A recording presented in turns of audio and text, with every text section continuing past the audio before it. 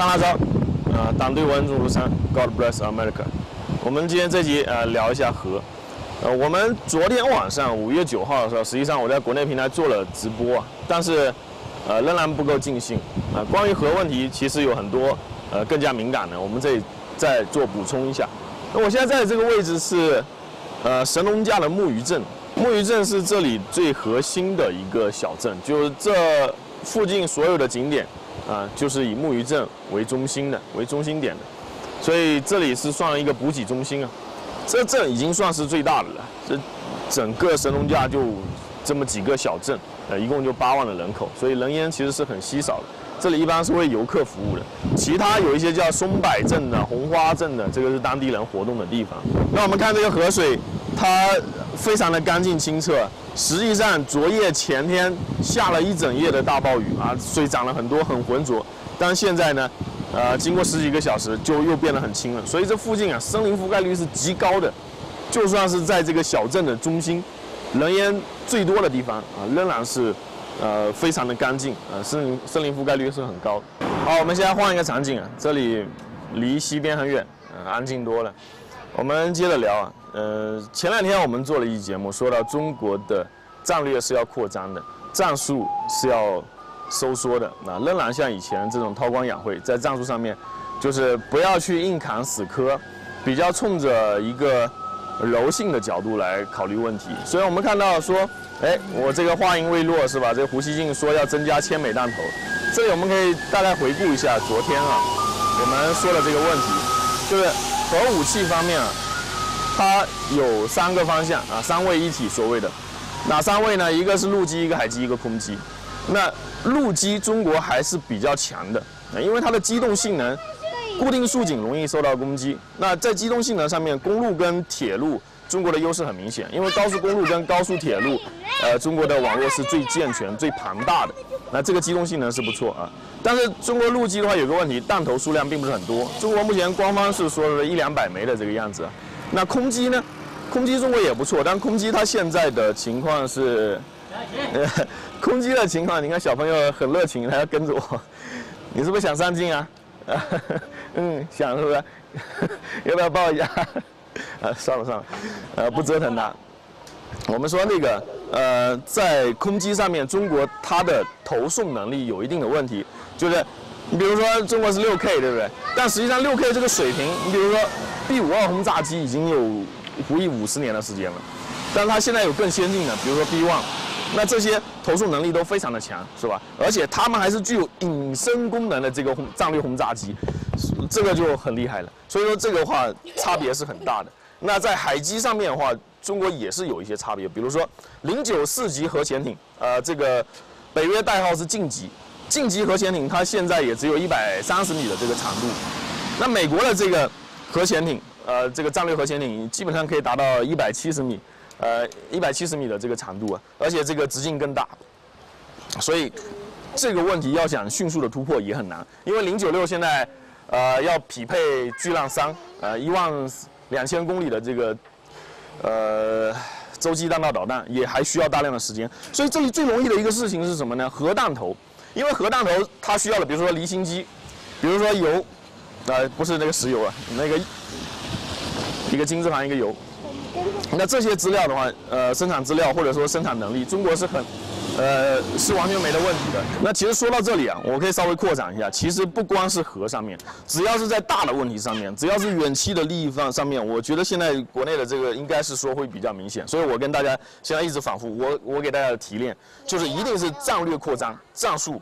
还是处在一个以前的这种收缩，在小问题上面，我估计中国还是会比较忍让跟退让，所以这一点判断的话，我其实可以送给白宫免费，是吧？又是一块钱的咨询费，始终收不到钱，对吧？所以这一点的话，白宫不用开会，就是这个样子啊，就是战略，中国肯定是要扩张的，你不可能说收缩，因为你这个我们前面也一个大象放在房间里面，你你自己觉得你自己不巨大吗？是吧？别人不会觉得你巨大吗？然后你。不想去保护自己的利益吗？这些所有的方面都是顺势而为，所以这个是呃跑不掉的。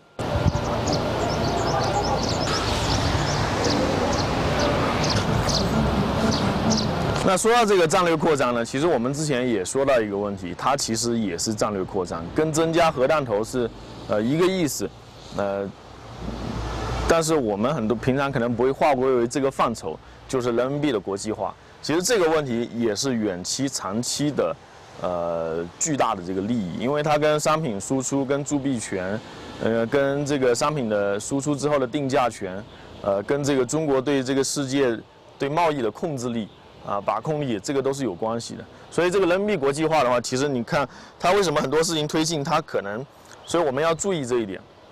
第一个问题是说，如果说一旦这个中国的军力在补短板式的，我刚才讲的很清楚，B one 它有一百架啊，我刚刚偷看了一下这个材料，B two 是隐形的战略轰炸机，是唯一一款啊，它还是有具有隐形功能的，时间更迟，呃，在全球现在后来，因为它服役时间俄俄罗斯已经不在了，而且这个前苏联已经不在了，所以。呃，这方面你要追求很难，但是很快可以先把这个战略的短板先补上来啊，通过自己可以做的事情，呃，比如说像航母啊，这个军事方面都是这样啊。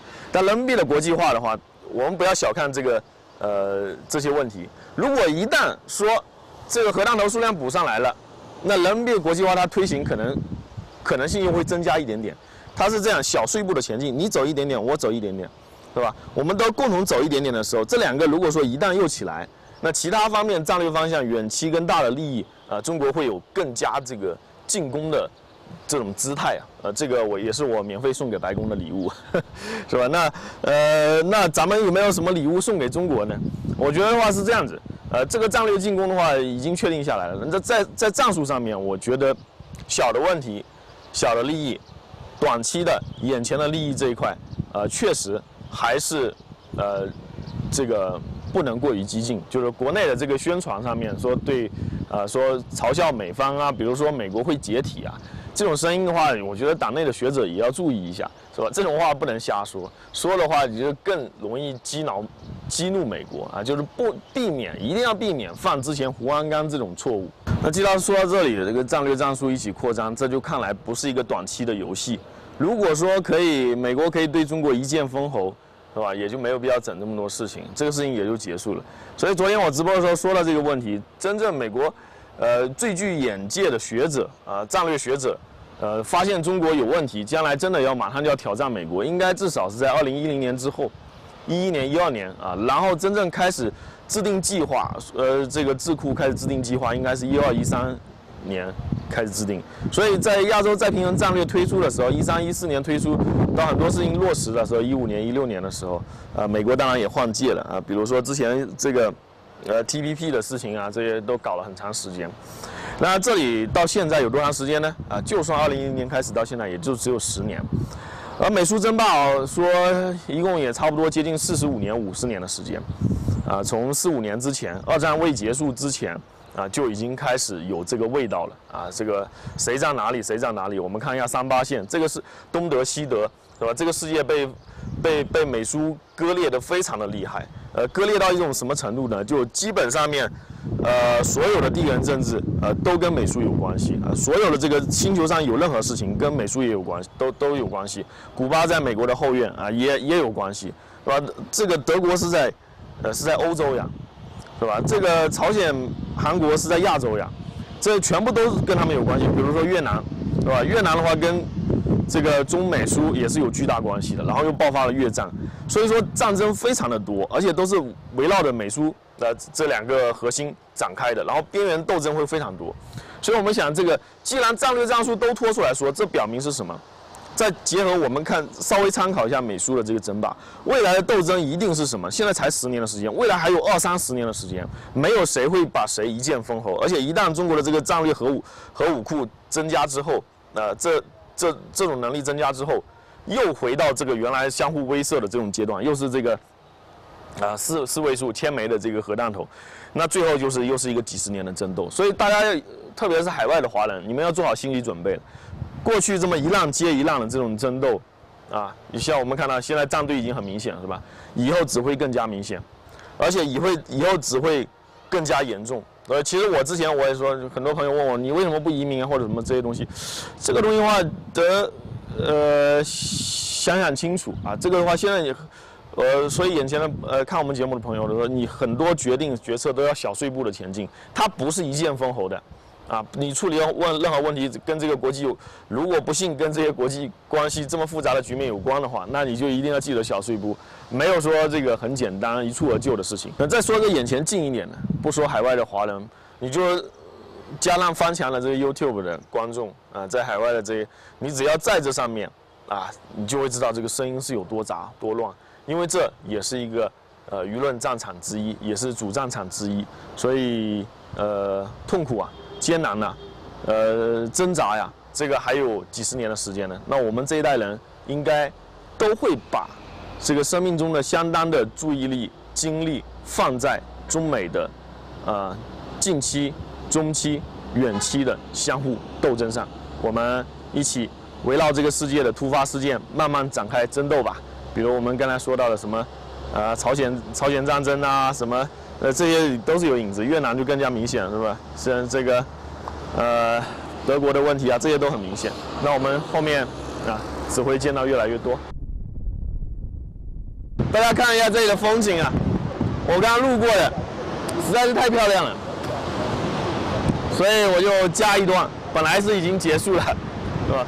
那我说一下什么呢？一个说一下华为，呃，科技方面中美战略的这个斗争。还有一点，我关于一些小小的想法跟思考，跟大家分享一下。那华为的事情呢？美国现在又说，呃，可能要跟华为合作 5G，呃，制定标准这个事情。这里啊，可能看到就是，呃，在面对终最终发展的时候，呃，最后还是得细细的权衡，不管斗得多狠，呃，最后还是要去考虑说，呃，这个，呃，对这个国家终极的利益是什么？因为考虑这一切的这个问题啊。最后还是一个利益问题嘛，还有一个就是发展进程问题，呃，不能让这个国家的发展进程被打断，或者是中断，这是一个大的问题。就是美国不管多讨厌华为，如果美国这个五 G 的技术出现断代或者断层，那这个时候问题就大了，可能会最后等你反应过来想追的时候，你会发现完全没得办法，这是比较大的问题。因为美国科技行业比较散乱，呃。各自各家都比较大，但是不像华为这整个这个整体作战，至少在五 G 这个呃具体内容上是这个样子。所以，在战略跟战术上面，五 G 说不定是一个节点啊，这个这个斗争的一个关键的这个节点，至少在科技行业里面是这个短期跟近期小利益跟大利益这个关键的这个交汇点。所以我们也看到这个世界的形势，呃，最后还是有会有多少的这个合作。哪怕嘴上不说，你比如讲，我们说，中国现在说给美国印了二二十多亿个口罩，不管双方吵得多凶，那口罩还是过去了嘛，呼吸机还是过去了嘛，五 G 还是在合作嘛，吵来吵去为的是什么？无非是利益嘛，谁分得多嘛，要钱嘛。我不希望你过得好嘛，我不希望你远期比我过得好嘛，就这么简单。实际上，暗暗地里私底下还是在合作啊，这一点的话。我们也要看斗争跟合作的这个关系。那这里的话，我们可以看到底下吧，啊，底下的人看得到吗？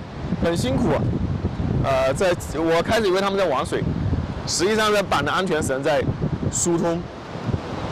我说这个利益的方面的这个问题啊，就是我以前觉得很遗憾，比如说西安事变，比如说陈桥兵变，比如说安史之乱。这些历史问题有的都已经成百上千年了，是吧？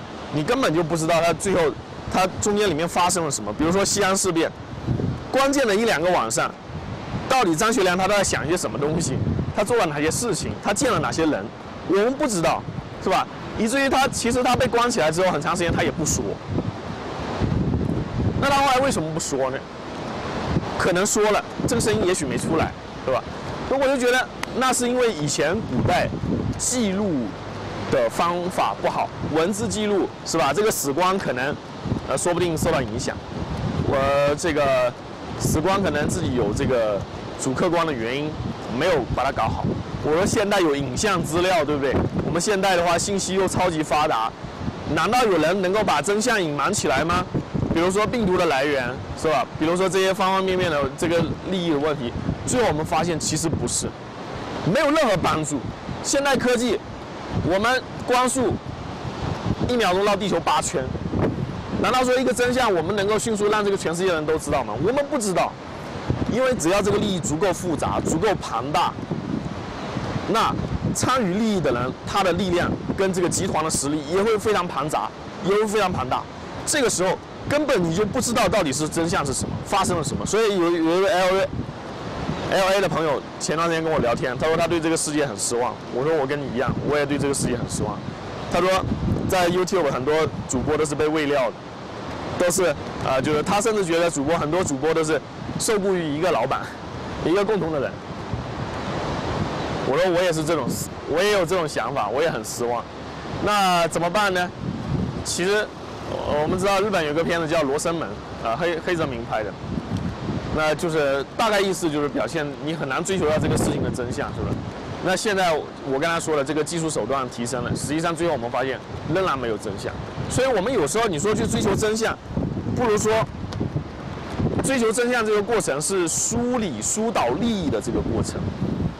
你要追求绝对的真相，恐怕很难啊！而且就算以后未来时代。